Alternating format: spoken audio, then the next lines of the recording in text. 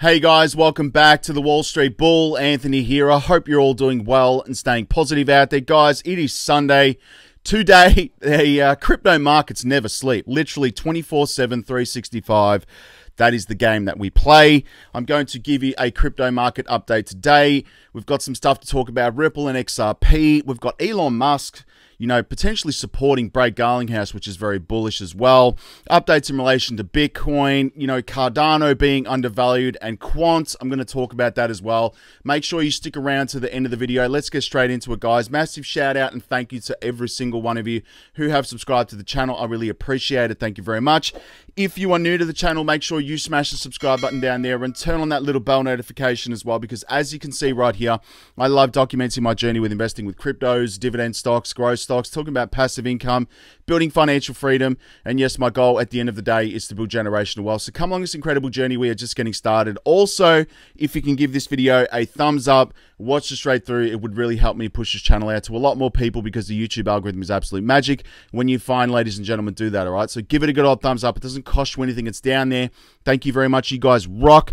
Also, little disclaimer I am not a financial advisor. Please do your own research and due diligence with this stuff. I do not want to see anyone get financially hurt. That is why my number one golden rule is I only invest what I can afford to lose.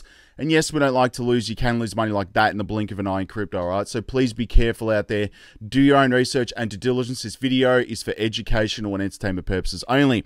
All right, ladies and gentlemen, the formalities are out of the way. Let's go straight to the community tab. These were the altcoins that were up in my portfolio this morning. We had Solo XPR Proton, not XRP, XPR. It's another pro uh, project, obviously. XRP, you had VTHO and Acro. All right, so straight up, these were the ones that were up today. Now let's go to CoinSpot. This is where I buy my cryptos in Australia, ladies and gentlemen. Please feel free to use the referral link below. You will get $10 in that coin right there, Bitcoin. Anyway, do your own research. All the prices you see here are in Australian dollars. Everything else is set to US dollars because I'm catering for everybody around the world and my Aussie fans. All right, let's go through them. Bitcoin sitting at $30,000 today, or at the time of recording, which is really nice, up 0.07%. You got Ethereum at 2,117, guys. Again, up from yesterday, which is nice. XRP XRP's at 74 cents. Now, XRP, there are some updates. Jeremy Hogan put a video, uh, video out just recently in the last hour or so. So I watched a bit of that, obviously. I haven't watched the whole thing. I've watched snippets of it and uh, we'll get into that in a second as well. But Cardano's at 56 cents, still undervalued, guys. You've got Matic at $1.33. Polkadot is $9. Keep scrolling down. You've got Link at $11 today. Stellar XLM is at 17 cents. You've got Near at $4.74. Some great buying opportunities, not financial advice. You've got Algorand at 50 cents. Quant is down to 284. I might snap that up. I'm just saying because it's it's going to be mooning probably tomorrow. All right, it's Sunday, Monday. It'll usually be move up. Obviously, VeChain is at three cents as well. Luna Classic down 1.37 percent. You've got Hedera at nine cents as well. You've got Aave at 135. Mana and Sandbox guys pretty much doing nothing at the moment, guys. You've got uh, 98 cents and a dollar 20. Theta is at $1.61. You got Axie Infinity at $14, which is nice as well. I am staking that, earning some pretty crazy interest as well. The graph is a definite for me, and I do hold it, and I think it's very undervalued, all right? 12 cents. You got Fantom at 33 cents. Casper as well, 7 cents, which is awesome. Enjin I need to add at 66 cents, and XDC is just holding on to that 5 cents. Just, all right? And again, another gem, which I think is going to moon in the future, guys, is Reef. Not financial advice, of course, down 5.26% today. It is under a cent. Cannot complain about that one. Alliance Block ALBT, 11 cents right now. And of course, XYO, a gem that I got in very early. It's actually up 0.95% today. Now, let's go to Crypto Bubbles. And before I do, guys, join the Patreon. It is linked below. Building a very bullish community of serious investors. I talk myself personally on my buys, my sells, what I think's going to moon, everything, guys. I put it up in this incredible group, so go join it. It is linked below. You will not regret it. Very, very bullish community. And let's go to Crypto Bubbles. All right, so the biggest gainer we have 30% is APT. All right, so obviously this one's mooning today, guys. 30% today. Be careful with this one, all right? Because it could uh, obviously drop a lot tomorrow. All right, uh, 13% on the week, 24% on the month, 24% on the year. It's a new project, obviously, guys, but I don't know. I'm not too bullish on that. Focusing on the real stuff right here. We have Huobi token again up 15% today, still 101% on the month. That is ridiculous.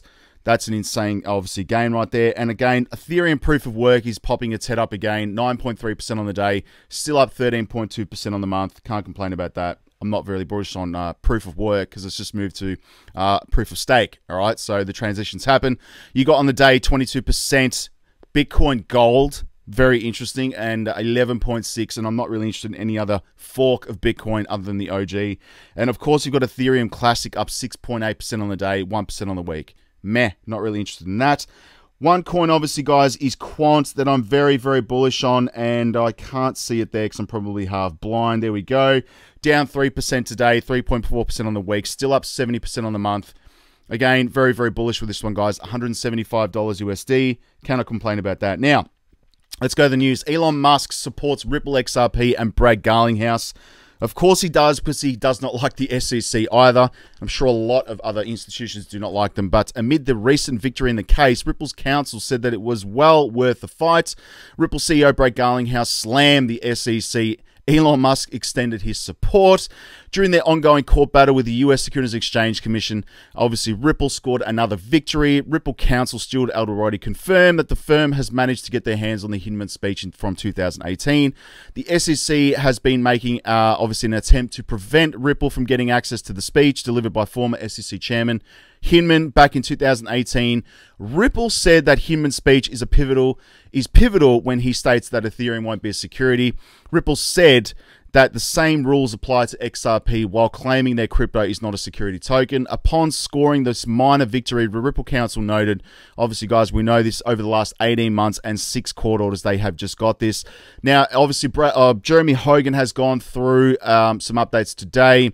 Uh, and obviously, I did watch snippets of that. However, he did mention that obviously that the judge uh, is yet to receive the final briefs, um, obviously November 15th, and uh, basically that'll be the last day. So we are not far away from the end, straight up. And obviously, then it'll be in uh, Judge Torres's or Netburn's court in order to make a decision. And it's going to be very interesting to see what happens there, guys. And it's just funny how it's all playing out in November. Just saying, ISO 222 is going live in November. We know this for a fact. And again, look at this. All right, so Forbes putting out a pretty mid uh, news article right here, but Ripple gets the documents it wants, maybe not the ones it needs. Well, we'll see what happens there. But Ripple Labs may have won the hard fought battle wrestling the documents from the Securities and Exchange Commission that supports its case against the agency, but that does not mean it will prevail in a $1.3 billion lawsuit against them for selling XRP. Well, I think it will help a lot. So the company which uses XRP token to facilitate cross-border payments seems to think it scored a big after the SEC complied with the court order to cough up documents related to 2018 speech by Hinman. Obviously, guys, in which it declared that the Ether was not a security. Alderoty, Ripple's general counsel, took to Twitter and obviously again. So uh, it's just interesting they put these kind of news uh, headings on one of the biggest, you know, uh, news agencies right here. Forbes is huge, right? So uh, no matter what the former SEC thought four years ago, the ultimate arbitra- uh, arbitrary right here, guys, of whether cryptocurrencies are legally securities in the United States Supreme Court, which makes a decision independently of the agency, according to Stephen Diamond, a securities law professor right here. So, uh, this is going to be huge. This is really huge for all of crypto. All right. So the High Court has spoken dozens of times on the issue in the last 70 years, and they have never strayed from the very simple framework that establishes the Howey case, says Diamond, I don't think XRP or Ripple is going to make a dent in this instance, guys. And again, see what I mean by just a mid article? Don't believe this FUD, straight up. Now, Bitcoin breakout imminent ahead of key macro events filed week, a filled week, guys. So this is coming. Bitcoin is still looking for a trigger break past 20,000 level. It's been like back and forth, like that hilarious video of, um, what's his name? Austin Powers yesterday on my Twitter page, but having consolidated around the zone for several weeks, the asset's possible rally has partly been delayed by the prevailing macroeconomic factors with flagship cryptocurrency trading in tandem with the stock market.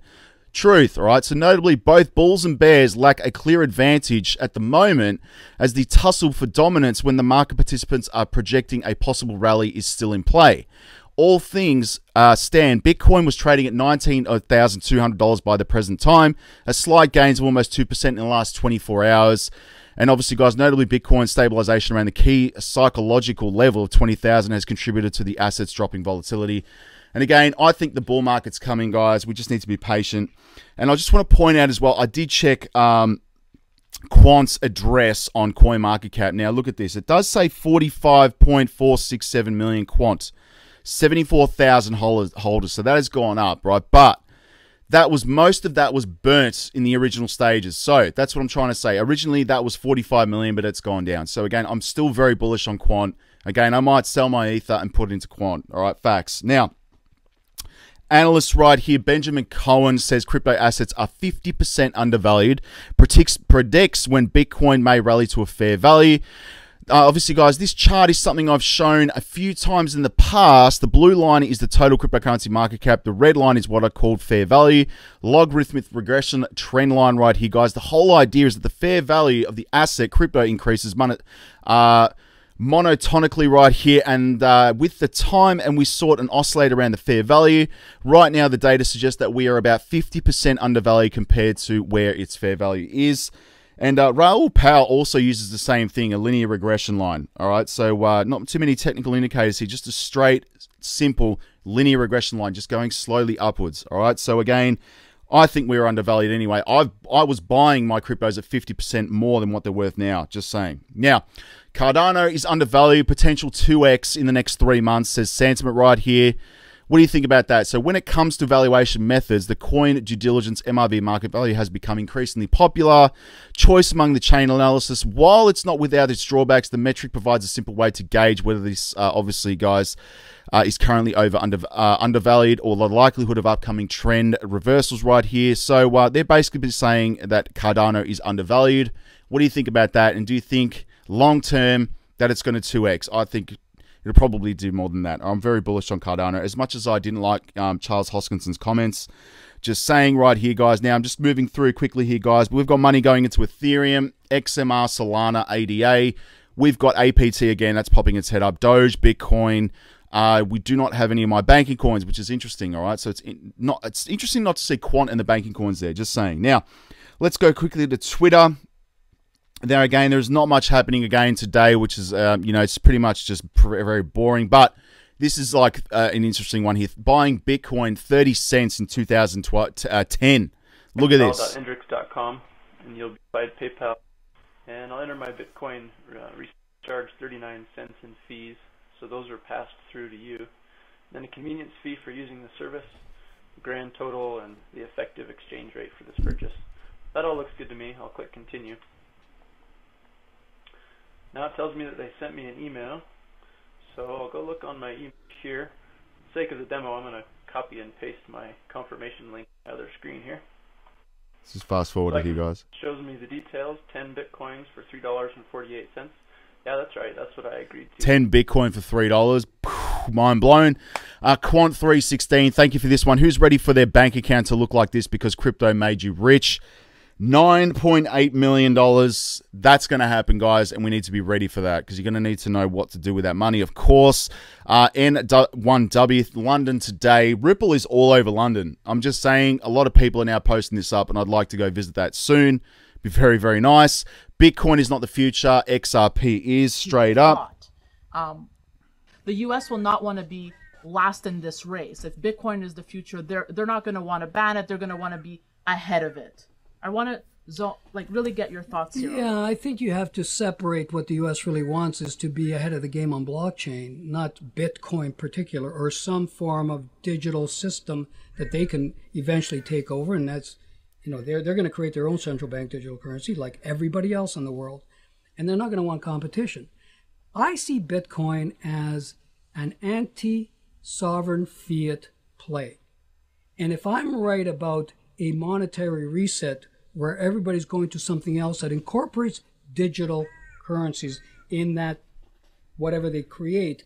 The last thing they're going to want is the competition from Bitcoin. And I, have, as I said a year and a half ago yeah. during our debate with Michael Saylor, e- eventually they will want to take Bitcoin out. I think there's too much risk there. And I want to get back They're going to do that. We know this. And CBDCs are not good. Imagine like the government tracking literally everything that you buy and sell. All right, straight up. We do not want that.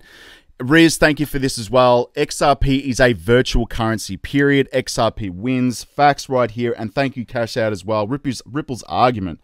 So the widely held belief that XRP was not a security was reinforced, uh, reinforced sorry, when the US Department of Justice and FinCEN publicly described XRP as a virtual currency, which they did, uh, and required Ripple subsidiary to register as a money service business a distinguished uh, that they're mutually exclusive with the SEC regulation. Moving down here, guys, money services business excludes person registered with the functionality regulated or examined by the SEC. This uh, that brief was further reinforced when in 2015 the CFTC declared that virtual currencies are commodities. Come on, like doesn't the judge see this? I hope they do. I hope both judges do. All right. Fear and Greed Index is sitting at 20 right now. And we have an, a Ripple employee that is leaving, and it's this guy right here, guys. So, uh, uh, Nick Nick B uh, again he's leaving uh, Ripple which is interesting as well so this will always be bittersweet I'm sad that I won't be closely working with Nick anymore but I'm also glad he's personally moving forward and again Ripple's just forever changing people as well just saying because they're a massive company growing Fear, obviously, let's go here, guys. Crypto uh, coin market cap, sorry, 928, uh, 21 billion dollars, 33 billion dollars in volume. It is extremely low. Just saying, this was like when this gets above like 150, 150 million in 24 hours, guys, then we're starting to talk turkey. All right, 39% BTC, 17% Ethereum. We're in the green at the moment, which is nice. The top gainers in my pop portfolio are BTT, Solo, XPR, ETN, VTHO, Rose, Near Protocol, Neo, and ADA. But where my money's actually going straight up is we got the banking coins, all right? And if I go market cap, I hold, hold ETH, but I'm thinking about selling it, guys. I don't know. I do have to hold some, of course. XRP, ADA, AVAX I need to buy. Link, XLM, Algorand, Quant, Hedera, IOTA, Casper, XDC, and Alliance Block. That is where my money's going straight up. I mean, it's truth. All right. Make sure you join the Patreon. That is it for today, guys. Follow me on all socials and please make sure you check the spelling. I will be back tomorrow with another market update. We'll speak to you all then. Stay safe. We'll speak to you soon. Peace out. Bye.